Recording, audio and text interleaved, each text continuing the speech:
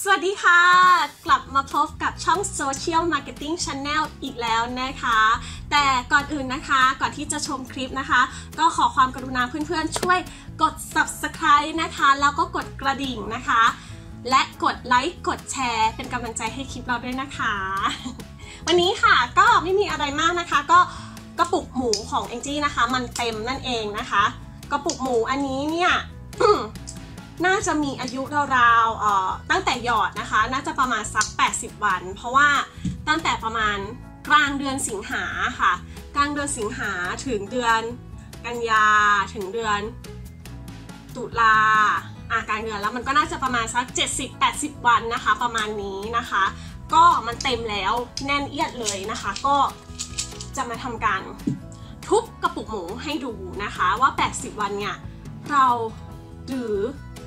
แองจี้ตัวแองจี้เองเนี่ยนะคะ สามารถเก็บเงินได้เท่าไหร่ ซึ่งแองจี้จะบอกมาตั้งแต่คลิปที่แล้วแล้วนะคะว่าแองจี้เนี่ยจะแบ่งวิธีการเก็บตังค์เนี่ยก็คือว่าจะแบ่งเป็นกระปุกกระปุกนะคะ อันเนี้ยกระปุกใหญ่ประมาณเนี้ยแองจี้จะเป็นการเก็บระยะยาวอาจจะแบบ2องสาเดือนทุกทีนะคะ แต่ถ้าเป็นกระปุกเล็กๆอะค่ะจี้จะเป็นค่าใช้จ่ายรายเดือน อันนั้นก็คือจะหยอดต่างหากนะคะ แล้วก็นอกจากนี้เนี่ยยังหยอดเป็นกระปุกย่อยๆ เช่นค่าประกันสังคมค่านู่นค่านี่ค่าออมทองค่าอะไรอย่างเงี้ยนะคะ เพื่อที่เราเหมือนกับว่าแยกเก็บเป็นส่วนเป็นส่วนเลย นี่ก็คือวิธีการเก็บเงินของแองจี้เองนะคะ และเงินที่ได้ค่ะแองจี้ก็เวลาที่จะเอาไปฝากนะคะ ก็จะเอาไปฝากแยกเป็นส่วนเหมือนกันนะคะ เช่น อย่างธนาคารอันนี้ก็อาจจะเป็นแบบเก็บเอาไว้เป็นเขาเรียกว่าอะไรกะแบบเก็บเลยอะค่ะ คือเอาไว้เก็บเลย นะ เก็บแล้วเก็บเลยอะไรเงี้ยเก็บลืมนะคะ อย่างอันนี้ก็อาจจะธนาคารนี้ก็อาจจะเป็นแบบเหมือนเอาไว้ใช้รายเดือนอย่างเงี้นะคะ คือวิธีการเก็บเงินของจีนะคะ อย่างอันนี้ก็อาจจะเอาไว้เก็บเอาไว้เพื่อที่จะชำระหนี้อะค่ะ เช่นเรามีหนี้ต่างๆ เราก็เอาเออจากธนาคารนี้จ่ายก่อน และสิ้นเดือนเนี่ยเราก็ค่อยๆค่อยๆเก็บเข้าธนาคารนี้มาคืนตัวเอง ระบบคล้าย ๆ กับ เหมือนเรากู้เงินตัวเองมาก่อน ใช้ไปก่อนใช้หนี้ไปก่อนแล้ว เพราะว่านี้เนี่ยมันจะมีระยะเวลาที่ถ้าเราไม่ส่งตามกำหนดเวลามันจะเสียดอกอะไรอย่างนี้ใช่ไหมคะเหมือนกันแองจี้ก็จะเอานี้ไปจ่ายหนี้ก่อน และก็ค่อยเอามาใช้คืนวิธีการเก็บเงินของจีนะคะ แล้วก็อย่างธนาคารเนี้ยค่ะ อันเนี้ยคือคือจะเก็บไว้เป็นเขาเรียกว่าอะไรเป็นสำรองเหรออืมแล้วแองจี้ขอเล่านิดนึงนะคะว่าเนี่ยธนาคารเนี้ยตอนแรกเปิด มันไม่เกี่ยวกับธนาคารนะคะ แต่ว่าตอนแรกเปิดเอาไว้เนี่ยเพื่อที่จะรับเงินรายเดือนเอ่อตอนนั้นทำทำเอ่อ VJ ของของแอปแอปหนึ่งนะคะ แล้วเขาให้ใช้แบงค์ของแบงค์ของอันนี้ของธนาคารนี้ก็ไปเปิด แล้วหลังจากนั้นนะพอเราแบบเราเราไม่ได้ทำอาชีพนั้นแล้วเนี้ยไม่ได้เงินเดือนจากที่นั่นแล้วเนี่ยธนาคารเนี้ยก็จากจากยังไงอะศูนย์เลยอะค่ะเออเป็นศูนย์บาท ก็ปีเนี้ย แองจี้เก็บถ้าใครดูคลิปนะคะ ตั้งแต่ประมาณพฤษภาเนี่ยแองจี้เก็บเข้าธนาคารเนี้ย4,200และอีกอันนึงตอนซักประมาณเดือนสิงหาแองจี้ก็ทุบกระปุกอีกนะคะ ซึ่งแบบนึกออกไหมกระปุกมันเต็มก็ทุบทีนึง สิงหามันก็เต็มอีกทีนึงนะคะแองจี้ก็เอาไปเข้า แล้วตอนนั้นอะได้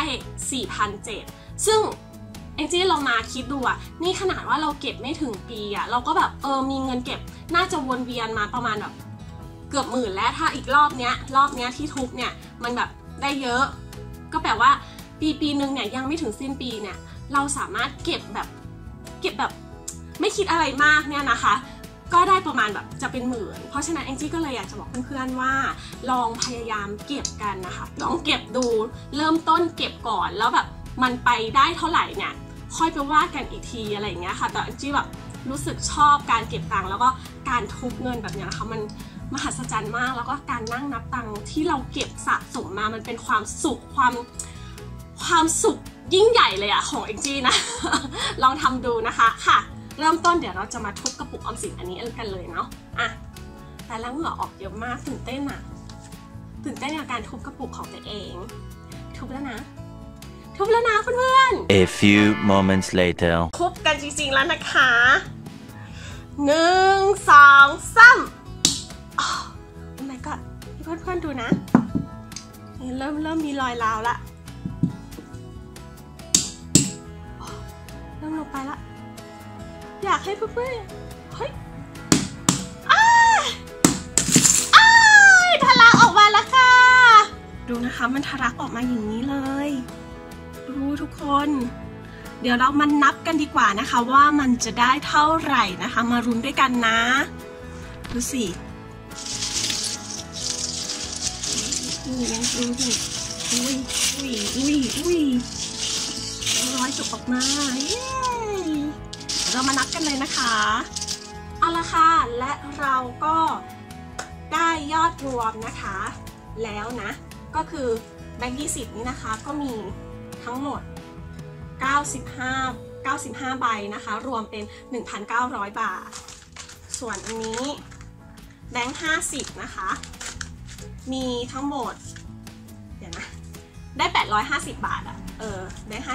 50 นี่เรานับแยกถุงแยกถุงนะคะ 850 บาท ส่วนแบงค์ร้อยนะคะ แบงค์ร้อย แบงค์ร้อยมี 17 ใบพันเจ็ดนะคะ ที่เป็นแบงค์ทั้งหมดนะคะ รวม รวมจะได้ 4,450 บาท เฉพาะแบงค์นะคะที่เป็นแบงค์แบงค์20 บวกแบงค์50 บวกแบงค์ร้อยทั้งหมดเป็น 4,450 บาท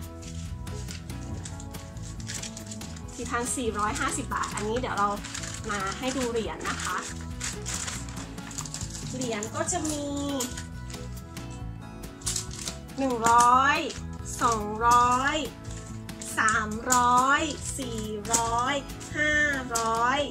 600 700อะ บวกอีก 700 เป็น 5,150 บาท นี่คือยอดรวมในกระปุกออมสินที่ทุบไปเมื่อกี้นะคะ ก็ใช้เวลาเก็บระยะเวลา 70 วัน ประมาณ 70 วันได้นะคะ ก็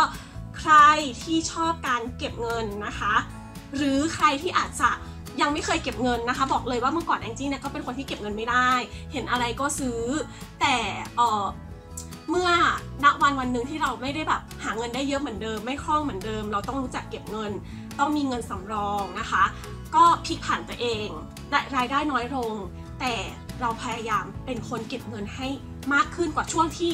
เรามีรายได้อีกยังไงก็คลิปนี้นะคะ ก็อยากจะให้เป็นแนวทางเป็นอะไรที่ให้สาระหรือว่าเป็น ตัวอย่างนะคะให้กับน้องๆ หรือว่าเพื่อนๆ หรือว่าเป็นเก็บความรู้อะไรอย่างนี้ก็ได้นะคะ ถ้าเพื่อนๆ เอาไปใช้แองจี้ก็ยินดีนะคะ แล้วก็ขอบคุณมากอย่างยิ่งเลยนะคะ ก็ยังไงคลิปนี้ก็ขอตัวลาไปก่อนนะคะ ขอบคุณและสวัสดีค่ะ บ๊ายบายค่ะ